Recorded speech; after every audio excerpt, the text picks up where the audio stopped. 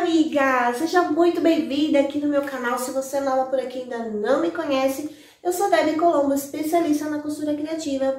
E hoje nós vamos aprender um kit de banheiro, um jogo de banheiro super fácil de fazer. E olha, minha amiga, você vai vender muito agora no final do ano, em feiras para artesanato, em bazares. Olha, a dica é muito boa, então já deixa seu like aqui pra mim e se inscreva se você ainda não é inscrita. Então vamos lá, ó, são três peças, tá bom? O tampão do vaso, olha que acabamento super legal.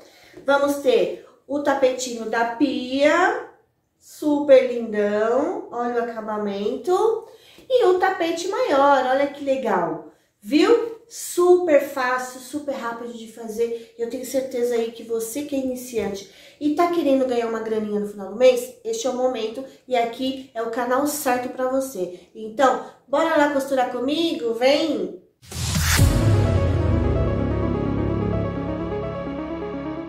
Muito bem, hoje nós vamos aprender a fazer um jogo de banheiro com três peças super mega fácil de fazer, minha amiga.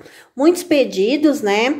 Muitas seguidoras me pediram para ensinar. Então, cá estou, vamos aprender super rapidinho. Bora lá para as medidas? Bom, para o tampo da nossa, do nosso vaso, você vai cortar 48, deixa eu colocar para cá, ó, 48 por 42, certo?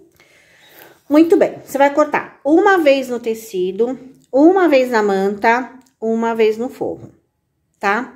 48 por 42. Depois eu vou mostrar pra você como a gente vai fazer o formato do tampão, tá? Do tampo do vaso.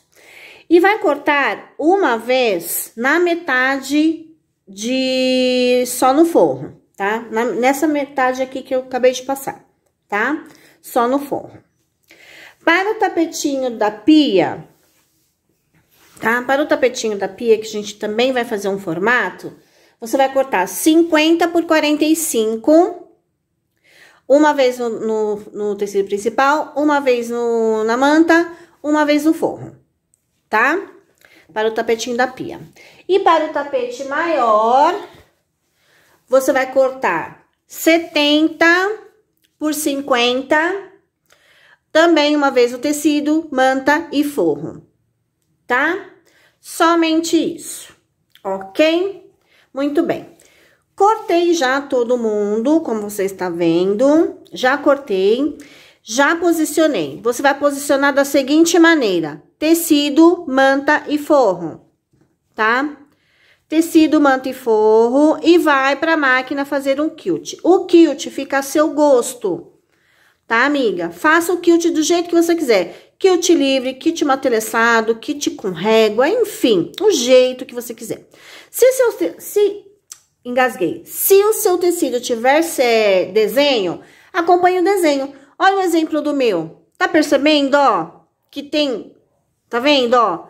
É, riscas. Olha que legal. Eu vou fazer o quê? Eu vou acompanhar o meu desenho. Tá vendo que fácil? Então, se, se a sua estampa tem desenho que dê para você acompanhar, faça, ajuda muito. Essa é uma dica, é um pulo do gato. Então, eu vou para a máquina e vou acompanhar o desenho da minha estampa, ó. Vai facilitar muito o meu trabalho. Então, se seu, a sua estampa tiver também um desenho que dê para você seguir para matelaçar, ótimo. Então, o segundo passo é você posicionar tecido, manta e forro, e ir para a máquina e fazer o quilt, tá? Eu vou fazer o quilt nas minhas três peças e já volto aqui com você. Muito bem, ó, já matelacei o meu, dá uma olhada, ó. Fiz bem rapidinho, eu segui o meu desenho da minha, da minha estampa, então foi fácil, tá? Fiz isso nas três peças, ok? Já refilei, tá? Refilei todas elas, tá? Então, tudo certinho. Esse aqui é aquela parte que eu falei do tampão, lembra? Tá? Deixa eu ver qual que é o tampão aqui. Este aqui, ó. Este aqui é o tampão, tá? Então, ó, eu cortei bem grandinho, ó. Comprei, dobrei pelo meio, ó. E vai ser a metade da medida, tá? Pra fazer a parte de encaixar o tampão. Essa do tampão aqui, a gente vai desenhar aqui, ó. Vou passar as medidas pra você. Vamos fazer desse lado, que dá pra você enxergar melhor. Então, vamos lá, ó. Aqui, nós temos 42 por 48, né? 42 por 48, correto? Tá. Aqui no 42, você vai marcar nas duas pontinhas, um lado você vai marcar 7 e do outro 7 também, tá? Então, 7 e 7, ok? Muito bem. Agora, aqui no 48, metade é 24, certo? 24, certo? Então, ó, metade, 24, 24. Aqui também você vai marcar 24. O que que você vai fazer? Aqui, ó, você vai unir o 7 aqui no 24, ó. Você vai unir o 7 aqui no 24, tá vendo, ó? E aqui também, ó, o 7, a marquinha, né? Aqui no 24, ó. Então, aqui a gente deu uma afinadinha, certo? Muito bem. Aqui embaixo, nós vamos fazer uma caixinha, uma curvinha de mais ou menos, deixa eu pegar aqui minha caixinha de leite, ó, uma curvinha mais ou menos, aqui no raio de oito, ó. Venho aqui, faço uma curvinha aqui e faço outra curvinha aqui. Ó, vou arredondar, tá? Eu acho que eu vou entrar mais um pouquinho, ó. Entra mais um pouquinho. Você vai arredondar aqui o seu tampão, tá? Ó, arredondei, tá? Deixa eu pegar aqui meu coisa do viés pra ver se fica mais arredondadinho. Então, você arredonda aí com um prato, um pirex, enfim, tá? Aí, o que que você faz? Pra ficar igual, você dobra aqui, ó, pontinha com pontinha. E você vai seguir aqui, ó, a curvinha que você fizer, tá? Então, eu vou seguir aqui, ó, minha curva. Aí, você pode fazer com prato, com pirex, enfim, não tem uma regra, tá, amiga? Ó. Então, eu arredondei aqui, ó, o meu. Se você quiser mais, mais arredondadinho, aí vai de você, tá? Mas é bem por aí. E aqui, ó, eu vou cortar também, ó. Aqui e do outro lado. Então, o tampão já fizemos, ó, tá? Então, esse aqui, ó, é o nosso tampão. Agora, eu venho com aquela parte do forro, ó, e vou posicionar aqui, tá? Que é pra gente encaixar a tampa do vaso. Agora, eu venho, viro e vou fazer uma costurinha para prender este forro aqui. Então, eu vou lá na máquina, vou fazer essa costura e já volto com você. Ó, amiga, costurei. Ó, aqui o tecido tá dobrado, tá? Então, eu dobrei e fiz a costurinha, então tá volta. É preto, né? Quase não dá pra ver. Agora, eu vou refilar os excessos aqui, ó.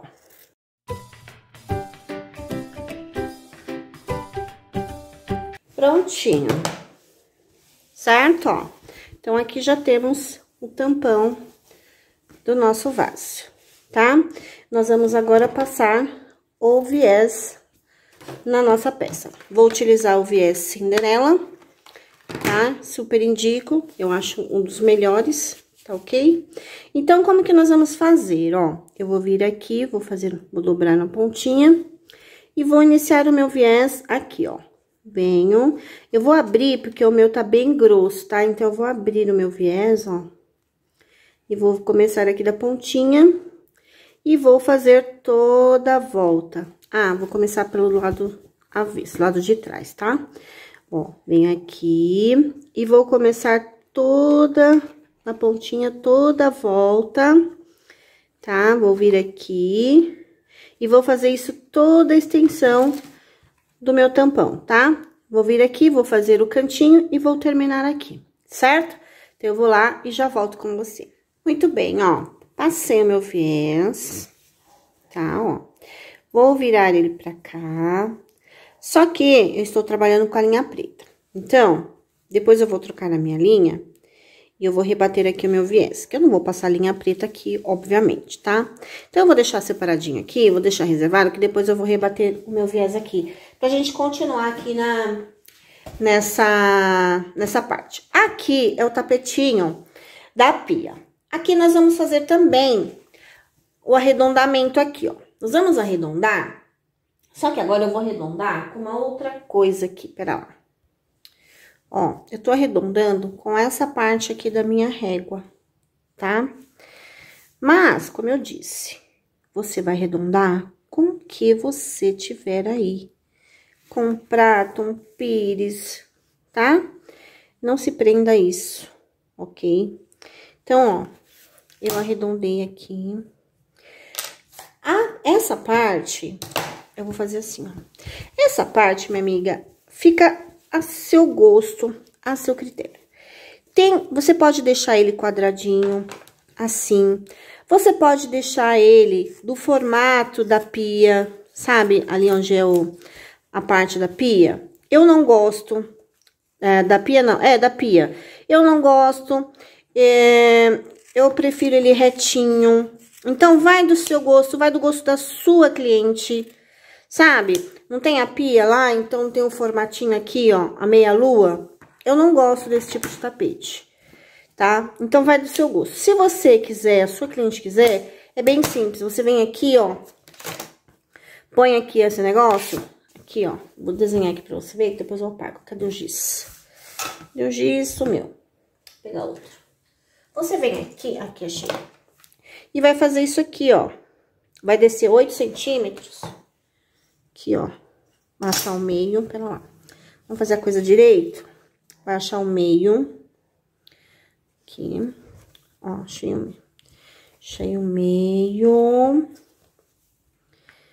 Vai descer 8 centímetros. E vai fazer a curva. Aqui, ó. Vai fazer a curva aqui tá? Aqui, ó. E aqui também você vai arredondar. Tem aqui. Sabe? Aí vai do seu gosto. Gosto da sua cliente, né? Tá? Então, fica a seu critério. Ó, aí você vai fazer o formato da do, do, do pedestal lá da pia, gente. Eu não sei como chama aquilo. Fugiu da minha cabeça, tá? Mas vocês sabem o que eu tô falando, né? Aqui, ó. Da pia, do vaso, do banheiro, não tem? Então, aí vai de você, se você vai querer fazer o formato pra colocar ali, tá? Eu não, não gosto, mas vai de você. Mas eu vou fazer esse, vai, pra gente tirar dúvida. Vou fazer esse. Então, ó, arredondei. Vou aqui achar o meio, deixa eu achar o meio direitinho. E vou fazer esse, pra gente tirar dúvida. E vou vir aqui, ó, e vou fazer esse pra vocês verem o que eu estou dizendo. Ó. E vou, tá? Ó. Aí vai ficar aquela parte, né? De colocar na pia ou no vaso, enfim, tá? O tapetinho da pia.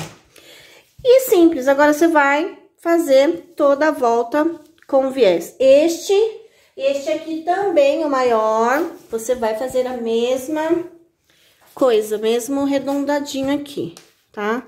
Sempre com o mesmo, pra não dar diferença pra você aí, tá? Aqui. Nossa, tô quebrando todo meu giz. Aqui. Nas quatro pontinhas, ok?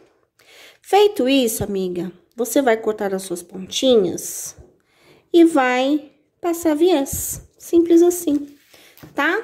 vai estar tá pronto o seu jogo de banheiro. Viu que fácil, que rápido, que simples? A única coisa que demora um pouco mais vai ser você fazer uma laçadinho, tá? É o que mais demora. Mas de resto, é rapidinho. Até mesmo o viés é rápido, tá? E dá pra você fazer muitos, muitos joguinhos de tapete aí, tá? Foi pedido aí de uma aluna, de uma seguidora, fiz bem tranquilo, tá? Ó, arredondei. Venho aqui, junto as pontinhas pra fazer todas as curvinhas iguais. Ó. Tá? Corto. E é só passar o viés. Tranquilo, né? Eu vou lá, vou passar meus viés, vou trocar minha linha, tá? Pra me rebater, porque o meu viés é rosa, não vou passar a linha preta. Uma dica, para o seu viés ficar bonito, amiga, faça essa linha da cor do viés, tá? Sempre, tá? Pra ficar lindão. Ó, fiquei com as minhas pontinhas arredondadas, todas elas, tá? Então, eu vou lá, vou fazer esse arredondado e já volto com você. Prontinho, amiga. Até que ficou gracioso esse kitzinho, olha. Aqui tá a tampa do banheiro, a tampa do vaso.